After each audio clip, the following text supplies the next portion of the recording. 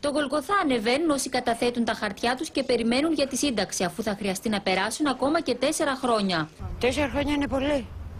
Είναι πάρα πολύ. Πρέπει να βγαίνει πιο γρήγορα, γιατί αυτός που βγαίνει σε σύνταξη έχει δουλέψει κάποια χρόνια, έχει αγωνιστεί και πρέπει να την πάρει τουλάχιστον δύο μήνες το αργότερο.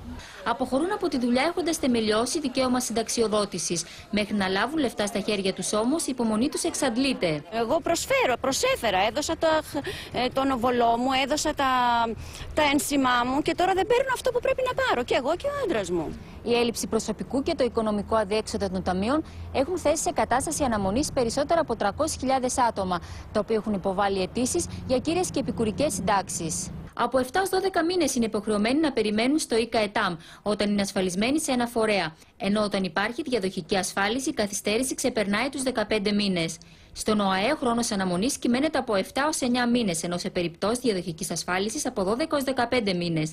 Το Γενικό Λογιστήριο του Κράτους χορηγεί σύνταξη περίπου σε 8 και 12 μήνες αντίστοιχα, ενώ στον ΟΓΑ η καθυστέρηση μπορεί να φτάσει τους 5 και τους 15 μήνες. Η ίδια και χειρότερη είναι η κατάσταση στα επικουρικά ταμεία. Για παράδειγμα, ένας εμποροϊπάλληλος που υποβάλλει αίτηση θα χρειαστεί από 3,5 έως 4 χρόνια για να πάρει κύρια και επικουρική σύνταξη από το ΙΚΑΤΕΑΙΤ. Πίστευτος χρόνος μετά από χρόνια δουλειάς διαμαρτύρονται για το αυτονόητο, για τη σύνταξη που δικαιούνται, αφού όπως λένε το κράτος του θυμάται μόνο όταν είναι να πληρώσουν. Πάντως, το Υπουργείο Εργασίας ευελπιστεί ότι η έκδοση της προσωρινής σύνταξης θα συμβάλλει στην άβλυνση του προβλήματος. Οι απόμοχοι της δουλειάς είναι οργισμένοι. Χάνουν και την ψυχική τους ηρεμία, αφού η οδυσσιά τους για την πολυπόθητη σύνταξη αρκεί να λάβει τέλος.